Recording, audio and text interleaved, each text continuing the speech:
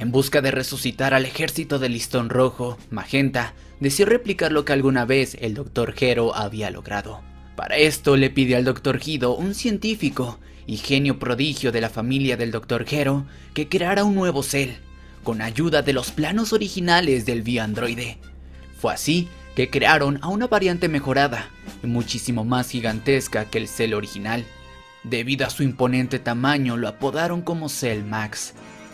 Cell Max estaba físicamente completo, a excepción de la parte neuronal del V-Androide, que harían que Magenta y el ejército del listón rojo pudieran darle órdenes.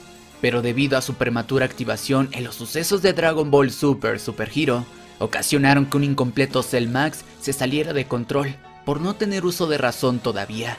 Era un monstruo incontrolable completamente desquiciado, careciendo de cualquier atributo inteligente del Cell original.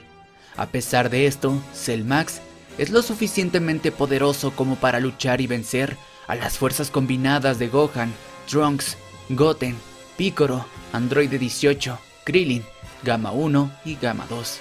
Incluso puede sobreponerse al estado evolucionado de Orange Piccolo.